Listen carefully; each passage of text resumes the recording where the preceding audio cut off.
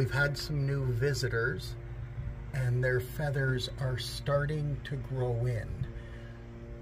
We'll make this video quick as I know Mama Bird is not too far.